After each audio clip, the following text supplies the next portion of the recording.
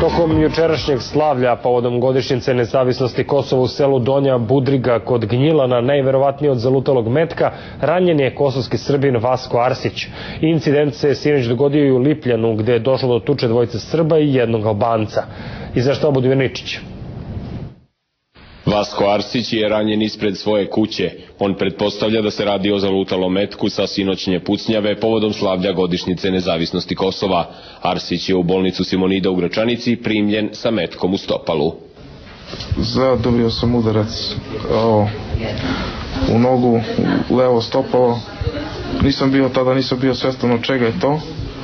Mislio sam da je neka petarda ili nešto ovo. Kad sam ušao u kapiju i skinuo patiku i video sam da, je, da, je, da mi je patika probušena i da mi je stopalo isto tako probušeno i napipao sam nešto tvrdo dozo to je bio neki metal, to metak. Jo. Pacijent je u stabilnom stanju, nije bilo veliko krvarenje, znači u stabilnom stanju je dovežen sa metkom velikog kalibra.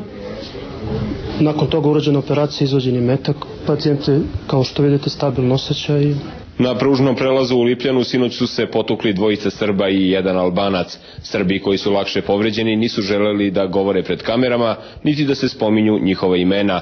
Komandir stanice policije u Lipljanu, Bajram Ademi, potvrdio je da se incident dogodio.